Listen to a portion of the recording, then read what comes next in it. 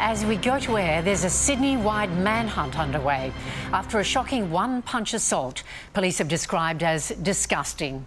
The 61-year-old victim was attacked from behind by a younger man and fell to the ground.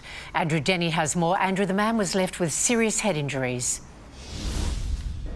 Well, this is a sickening assault that's happened during the middle of the day in a busy part of Glebe here in Sydney's inner west. Security cameras captured what can only be described as a minor brush between strangers here on Bay Street. But the younger man involved then turns around and delivers a coward's punch to the back of his 60 year old victim's head. The attacker runs off, leaving shocked bystanders to come to his aid.